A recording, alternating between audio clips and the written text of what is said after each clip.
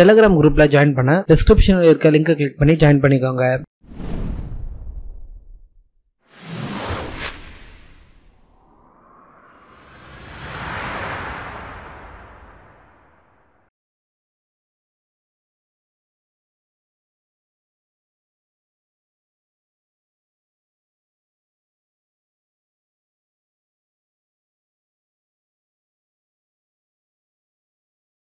அனைவருக்கும் வணக்கம். இன்னைக்கு நாம இந்த வீடியோ பகுதியில் எதை பற்றி பார்க்க போகிறோம் அப்படின்னா இந்த ராசிக்காரர்கள் மட்டும் காதலிக்கவோ திருமணம் செய்யவோ கூடவே கூடாது.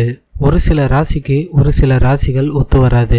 இவங்களுடைய குணங்கள் பார்த்தீங்க அப்படின்னா எப்போதுமே எதிர்மறையா இருக்கும். அது போன்ற ராசிக்காரர்கள் காதலிக்கவோ காதல் திருமணமோ செய்யவே கூடாது.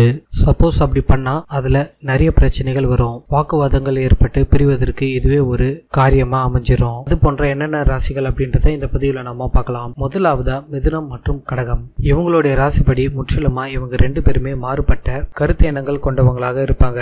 மேலும் இந்த ரெண்டு ராசிக்காரர்களும் ஏதாவது ஏதாவது ஒரு விஷயத்தில் ரொம்பவே பிடிவாதமாக இருப்பாங்க. இந்த ரெண்டு ராசிக்காரர்களுமே ஏதாவது ஒரு விஷயம் சரி அப்படின்னு சொல்லிட்டு நினச்சிட்டாங்கன்னா கடைசி வரைக்கும் சரி அப்படின்றதுல தான் நிற்பாங்க அவங்களுடைய முடிவுகளை மாற்றிக்க மாட்டாங்க.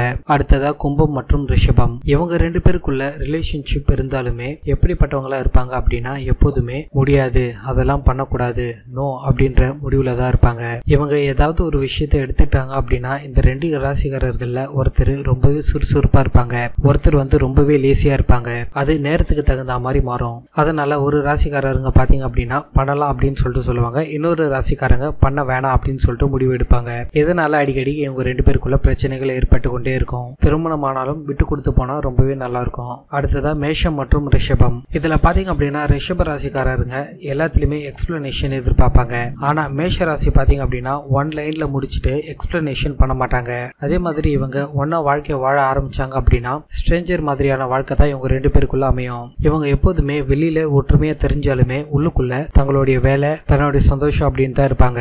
கல்யாணம் பண்ணிக்கிட்டோம் காதலிக்கிறோம் அப்படின்னு வெளியில தெரிவு பத்தினாலுமே உள்ளுக்குள்ள ஸ்ட்ரேஞ்சர் போல தான் இருப்பாங்க. அடுத்ததா மீனம் மற்றும் கன்னி. இந்த ரெண்டு ராசிக்காரர்களுக்குமே எப்போதுமே ஒத்து வராது. மீன ராசிக்காரங்க எப்போதுமே எமோஷனல் டைப்பா இருப்பாங்க. கன்னி ராசிக்காரங்க கொஞ்சம் சென்சிட்டிவ் கம்மியா இருப்பாங்க. ஆனா அவங்க எல்லாத்தையுமே பிராக்டிக்கலா பார்க்கணும்னு நினைப்பாங்க.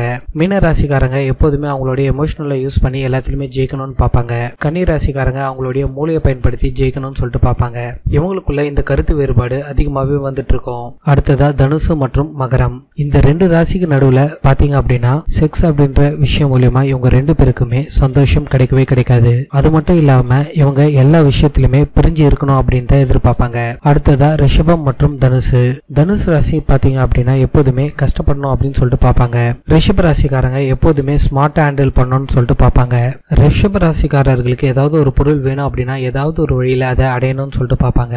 தனுஷ் ராசிக்காரங்க எப்படியாவது கஷ்டப்பட்டாவது அதை அடையணும்னு சொல்லிட்டு பார்ப்பாங்க. இது மூலிமா இவங்க ரெண்டு பேருக்கும் வாக்குவாதம் ஏற்படும். அடுத்ததா விருச்சிகம் மற்றும் மேஷம். இவங்க ரெண்டு பேருமே ரொம்பவே ஷார்ப்பாக இருப்பாங்க. ஆனா இவங்க ரெண்டு பேருமே மனசுக்குள்ள எல்லாத்தையுமே மறைச்சு வச்சுப்பாங்க. இவங்க ரெண்டு பேருமே பார்க்கறதுக்கு ரொம்பவே பெஸ்ட் கப்புள்ஸ் போல இருப்பாங்க. ஒருத்தருக்குள்ள ஒருத்தருக்கு நடிப்பு பயங்கர அதிகமா இருக்கும். அடுத்ததா மிதுனம் மற்றும் மகரம். மிதுன ராசிக்காரங்க பாத்தீங்க அப்படின்னா எப்போதுமே அவங்களுடைய பிடிவாதத்துல அதிகமாவே இருப்பாங்க. மகர ராசிக்காரங்க அதை விட்டு கொடுத்து போகணும் அப்படின்னு சொல்லிட்டு நினைச்சாலுமே நிறைய டைம் அவங்களால முடியாததுனால அதனால பிரச்சனைகள் வரும். அதனால கோபங்கள் வரும். இப்படி வர்றதுனால அதிகப்படியான நேரத்துல மிதுன ராசிக்காரங்க அவங்களுடைய கோபத்தினால எல்லையை மீற நிலைமைக்கு நிறைய ஆகும் இவங்களுக்குள்ள எப்போதுமே ஆர்கியூமெண்ட்ஸ் நடந்து கொண்டே இருக்கும். அடுத்ததா துலாம் மற்றும் கன்னி. துலாம் ராசி பார்த்தீங்க அப்படின்னா எப்போதுமே தான் பண்றதுல எல்லாத்தையுமே கரெக்டா இருக்கணும் அப்படின்னு சொல்லிட்டு பார்ப்பாங்க. ஆனா கன்னி ராசி ப்ராக்டிக்கலாக எல்லாத்தையுமே எக்ஸ்பிளனேஷன் தர ஆளா இருப்பாங்க.